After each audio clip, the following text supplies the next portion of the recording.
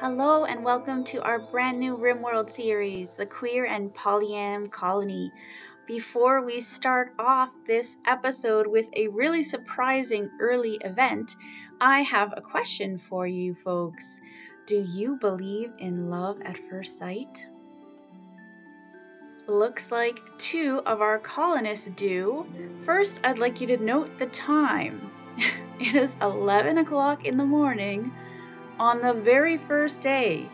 We have not even had like one evening, we have not even slept yet. We landed five hours ago and we already have an event. We have new lovers. So apparently, two of these three lovely, lovely people just decided they could not wait one possible second to get started on the romance. Um, I was surprised, I was shocked, but of course I am also thrilled. So I will not wake, make you wait any further to see who the lovers are. Let's take a look. It's Rose and Em. Rose courted Em by telling a tale about alien conspiracies, and they are now lovers. So there you go, we haven't even built single beds, and now we can eliminate two of them and make a double bed instead. What an exciting way to start off our queer and polyam colony. I don't think I could have orchestrated a better start if I had planned it, and I didn't. Um, so here we are, Rose and Em. They are here together. Looks like Em is getting ready to go off hunting, and Rose is doing some hauling. We have barely, barely gotten started on this colony, five hours in. Um, not much has changed since we left off last episode, um, as it's only been five hours since our landing. But we've gotten started on planning the base. We've got a few little blueprints out for our hygiene area and we've got a table, we've got the start of our stockpile area, and we've got some walls getting deconstructed so that they can be reconstructed over here to form our first room, which will eventually be our fridge. One thing you may have noticed that's different is um, the outfits that our lovely people are wearing. I noticed after the last episode, as I was making the thumbnail art, that I didn't give our colonists some spiffy new outfits like I like to do for new series, at least for the first three. So I had to do that after the fact, which was a little tricky, but luckily I have the character editor mod to help me out. So we can check out our colonists and their very cool little outfits. We've got Lyric, who is wearing a very nice lady's hat, sheep wool chef's uniform, since she is our main cook.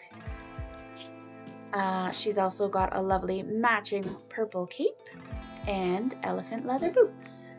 So she looks very styling, goes well with her hot pink hair. Who is our main animal person and hunter, as you can see, is wearing a cowboy hat, which goes very well with her role. She's got a fleece shirt, which will give you some advantages in plant and animal work. And she's got a nice wool jacket to keep her cold since we are in the boreal climate. And then she's just got some nice gray pants. Rose is our scientist. She's very highly intellectual, and she'll also be doing some building and mining, maybe a little bit of cooking as well. So I gave her a nice lab coat to go with that look, and she's just got a nice blue cloth tunic that goes along with it. My cats are making noise in the background. I don't know if you can hear them scratching. Uh, she's also got a nice vest and some matching pants. And I gave her some glasses, since, you know, that's the look if you want to look smart. And then she ended up popping this plasteel flak helmet on all by herself. So maybe I'll have to update the, um, the picture that I'm using in the thumbnail and include her new look that she chose herself. And she's just gone to grab our kitchen table that we're going to be using. Thank you, Rose. So that's our colonists. They are looking pretty spiffy. I wanted to jump in and announce the new lovers since that happened really, really quickly. I was just barely getting started. Um, I think about like 10 minutes of actual gameplay time from where we left off. And then all of a sudden that popped up, so I had to run up and get everything ready to record. I really wasn't expecting that. So let's see what else episode 2 brings as we start off this new series. One thing that'll be really different in this series is the boreal forest environment. There's a lot of predator animals, so there's a lot of coyotes and wolves, and there's even little otters that, though they may look cute, are also predator animals. You can see here on the list we have many, many predators. There's also bears, quite dangerous.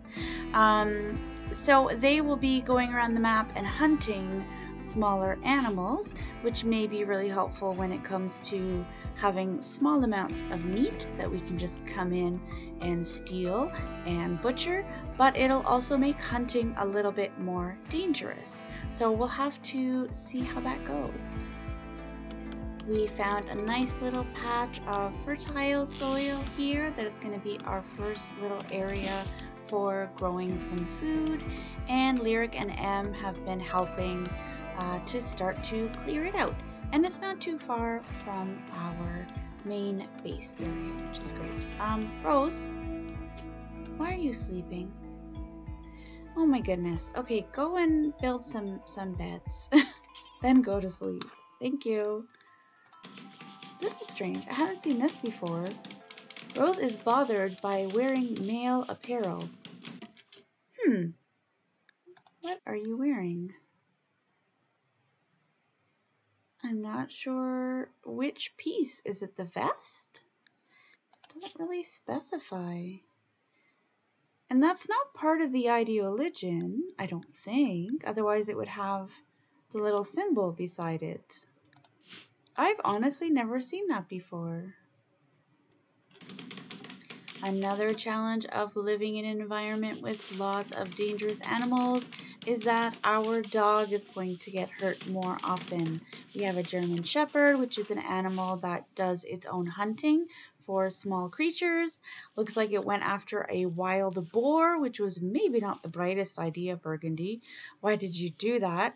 Um, so yeah, our our German Shepherd is going to be getting hurt, so we'll have to be careful and keep an eye out for that. Well, it's the end of our first day. Em has just finished building a roof so that we can be sleeping inside for the night. And I'd say we are off to a pretty good start.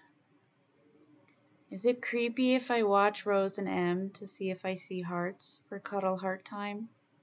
Yeah, probably. Okay. I'll just check them in the morning to see if they have a mood boost. Oh, we have our first threat. It's a mad rat. Let's find out where it is. It's all the way down here and across the river. Oh, and there's our tree. Anima tree. Whoop. It's got a ways to go. Whoop. Alright, who's got our hunting gun? It's Em. Get ready. We'll try to shoot it as it comes across the river. Maybe we'll get Lyric to lend a hand. Where is she? Oh, she's kind of near there anyways. Alright. We'll get her to head up and come on back.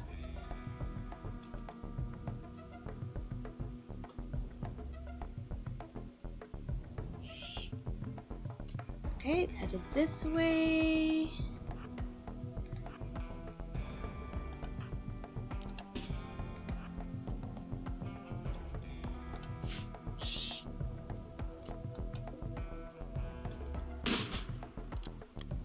waiting for you, rat. You guys are not good at shooting. Although it is the rain. I've noticed the rain, like, really affects your shooting ability quite severely.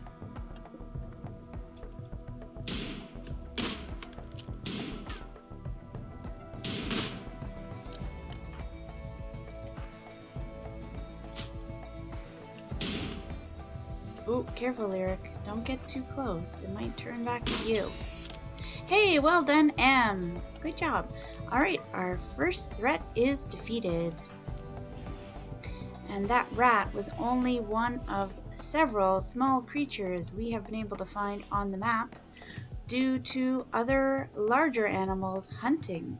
We've got a, is it a cougar up here? We've got a black bear that's been wandering around, making me a little nervous. So yeah, we've been able to find a few little animals. Hey, cool! It's time to name our colony. Hmm. Okay, I've gone back to look at our ideoligion, the spirituality of all, uh, and I want to get something that kind of encompasses like all, oneness, unity. So I think what I'm going to go with for our faction name is Queer Unity. And for our settlement here in this rainy environment, in this forest with mountainous areas all around us, I'm going to call it the Rainy Mountain Forest.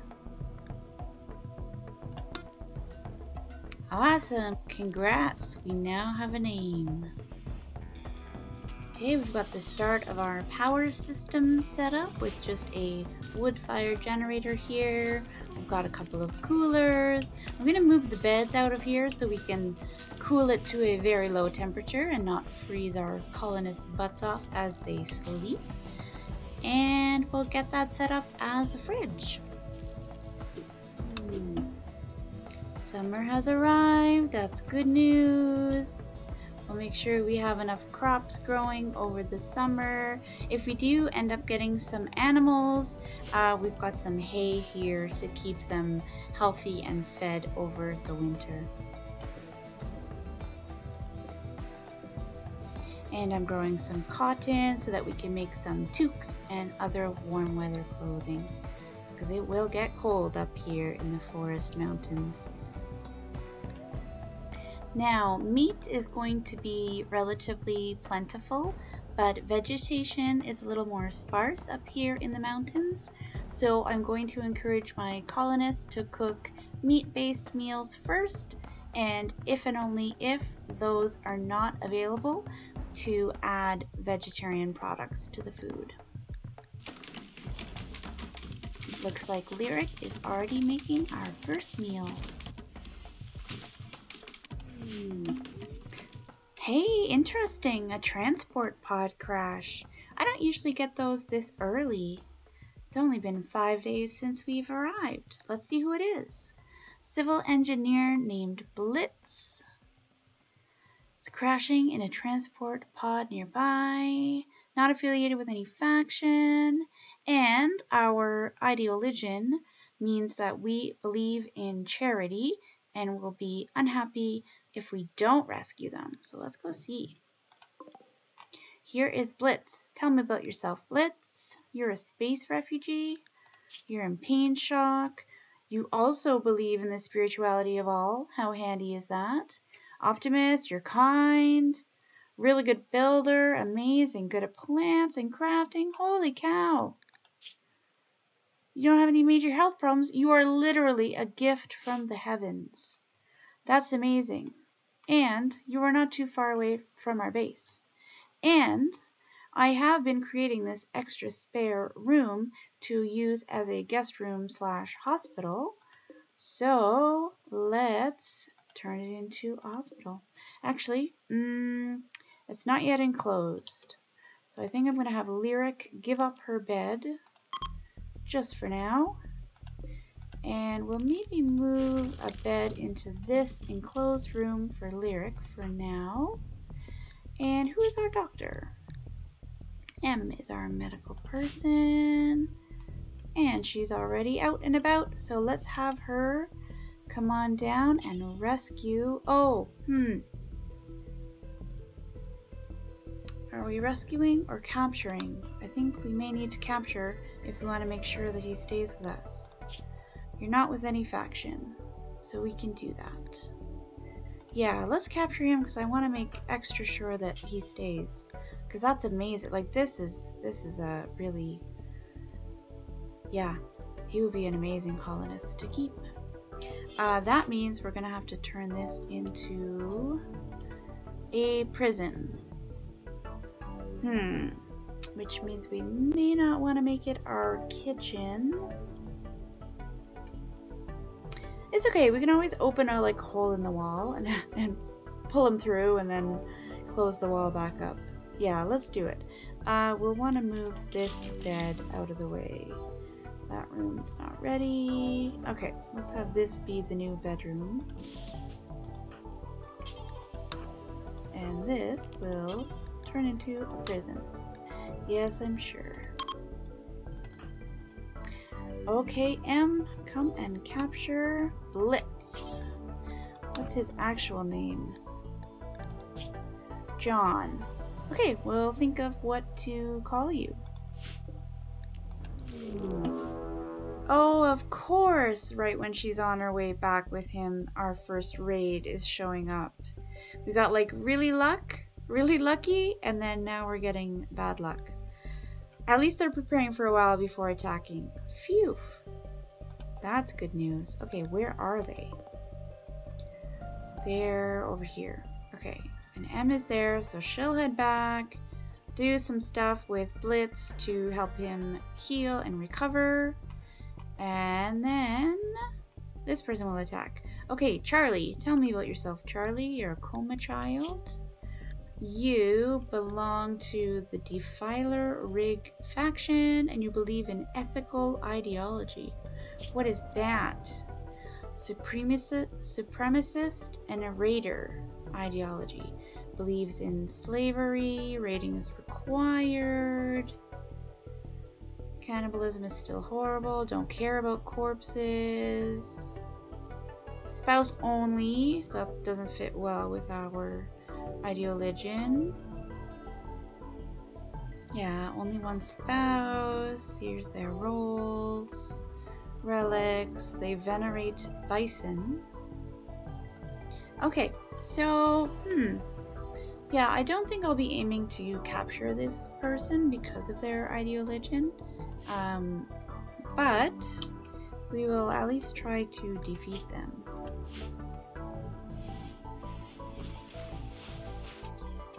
Okay, she's back with Blitz and she's tending to his injuries.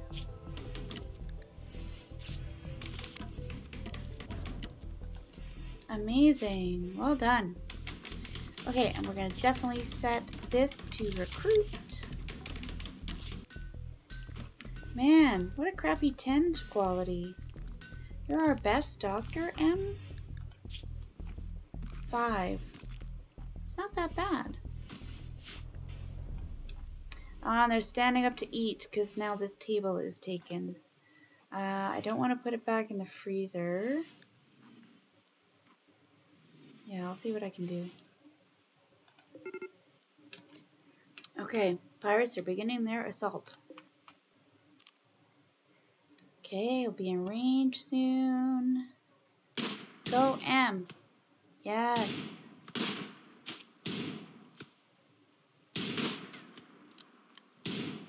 Okay, time to move a little bit. Run and gun. Too bad it's raining.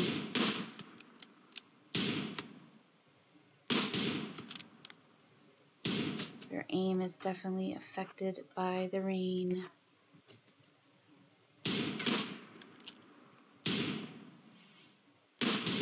They're doing well. Okay, keep moving.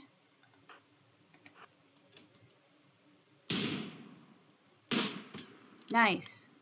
Okay, well, we've downed him, but yeah, I don't think I want to take this person prisoner.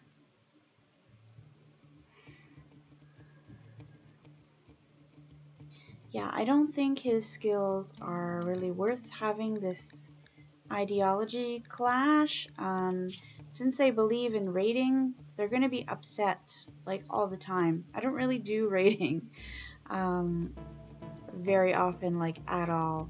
So they're going to be like, have a permanent debuff because of that. So I think we're going to leave them and hope for people from these other ideologies. I'm eager to, to meet these people, see what they believe in. Oh, that's strange. Lyric decided to go to sleep in this bed instead of in this bed, even though this is in a room. That's kind of strange. Sometimes in the woods, these animal predators kill each other. They attack each other, have a battle. One ends up severely injured, tries to eat the other, and it ends up getting injured as well. So that's nice. We won't have to hunt as much, I suspect. We shall see. While this visitor is passing by, let's check out the Dominion of God and their ideology, since they will be the, um, the people on the map that'll be assigning us our royal titles and whatnot as part of the royalty DLC. The Dominion of God believes in unified cooperative. They are loyalist, collectivist, Drug use is prohibited. Okay, so they may not buy our drugs when they're visiting. Looks pretty good though. I don't see anything that majorly clashes. The spouse and physical love thing may be a bit of an issue if we recruit people from this faction, but it's not too bad. Interesting. Well, hopefully soon I'll finish building this room, get it enclosed with a roof, and we can make some make some of these beds guest beds and start welcoming our first guests.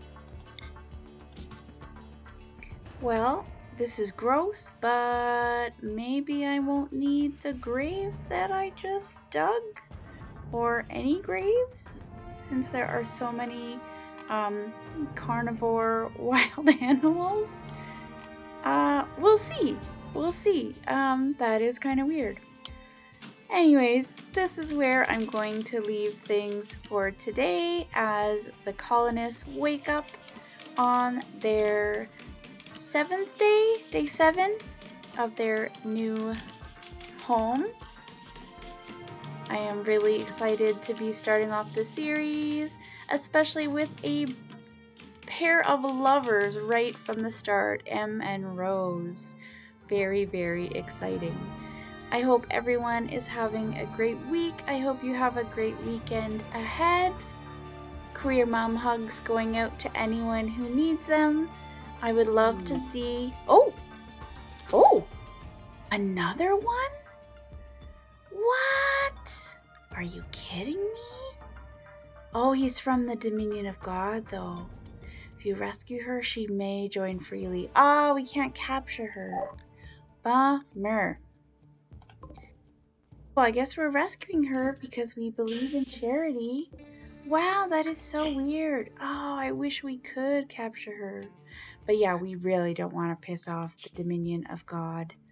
You do not mess with this faction. They they are in charge. All right, well let's let's rescue her and then we'll get back to saying our goodbyes. Um, hmm. Maybe we'll make this the hospital since it's nice and clean, although we were going to switch that to the prison. Okay, I guess we're just, uh, thank goodness we have these rooms ready to go. I'm going to move Rose and Em once again. This room is still not ready, so here we go. We'll put them in this room that I was going to make the bathroom, but oh well, it works for now. Who's our doctor again? It is Em. I thought so. So Em, come and rescue this person. Where are you? Oh, I found some meals. Okay, that's handy. Ooh, a whole bunch.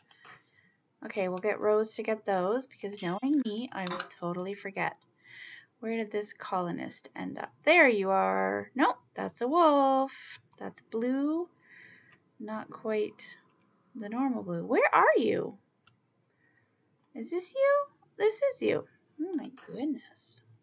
Okay, let's send Em down to rescue her. Rescue, we have a hospital bed. And Lyric is busy butchering. Oh, yeah, because we have these two animals over here that got in a fight with each other. But after you do that, Lyric, let's make you move the bed so that we don't forget to do that. Okay, awesome. Well, let's get back to saying our farewells for now as Em makes this rescue attempt. And we'll take visitors another time. All right, so I was saying goodbye for now.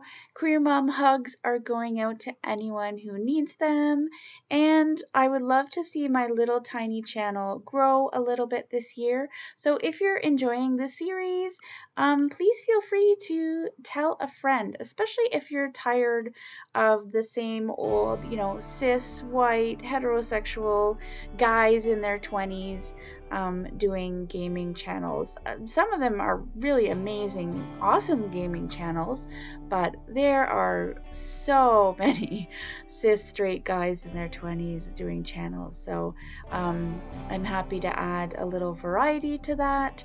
And if you have friends that would also enjoy uh, a queer, genderqueer, YouTuber, gamer, um, please feel free to send them our way. And I always love getting comments as well. I try to reply to every single one, and I really appreciate those of you who have joined the channel. It really makes my day. All right, I hope you have a great weekend and a great week ahead, and I look forward to seeing you next week for episode three of our new Queer and Polyam series with ideology and royalty DLCs. Take care. Bye bye.